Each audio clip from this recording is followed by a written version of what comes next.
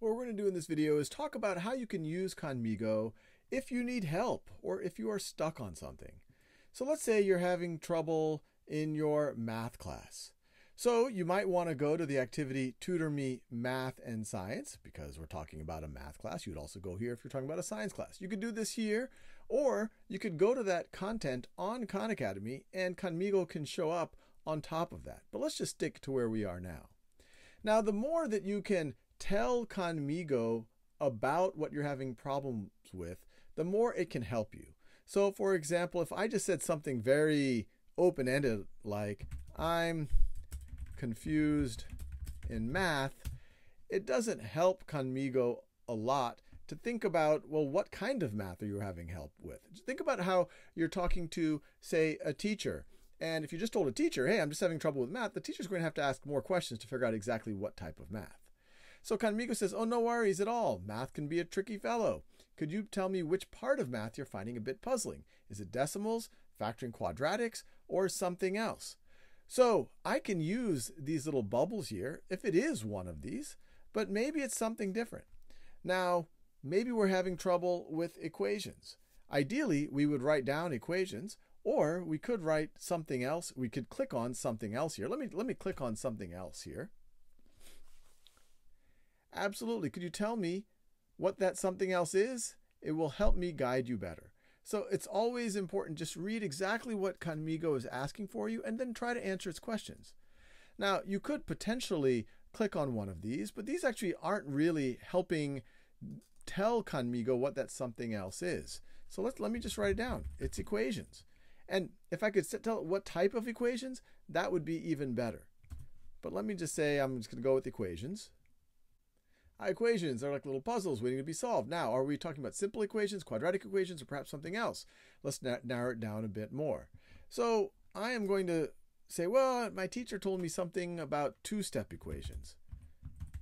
Two-step equations. And we could have started here. If the first thing I wrote Khanmigo is, hi Khanmigo, I'm having trouble with two-step equations, we could have gotten here a lot faster. Okay, so two-step equations, they're like a dance, two steps to find the answer. Let's practice with an example. How about this one? So a lot of times when you see a bunch of text like this and then you see all these other options, it can be a little intimidating. But I encourage you, even if you need to, read it out loud and just read it step by step or piece by piece and think about what is Khanmigo asking you. So it's kind of having a little bit of a with fun right here, making a comparing it to, to a dance, but it's starting with an example. How about this one? 3x plus 2 is equal to 8. What is the first step you think we should take to solve this equation? So if you know what the first step is, you can say it. Or you might even say, this isn't the type of equation we're dealing with in my, my with my teacher. It's more like this, or a, it deals with division, or it deals with something else. But let's say this is the type of question that you're having trouble with. And if you do know what the first step might be, say to subtract 2 from both sides, well, you, you might write that down. It also gives you some choices right over here. And this is actually what I would say anyway, so let me pick that. This right over here is Khanmigo just double checking the math. Spot on, subtracting 2 from both sides gives us 3x equals 6. Now it's really important, just don't click on bubbles just hoping to get another reaction. You should really read what Khanmigo is saying and try to understand.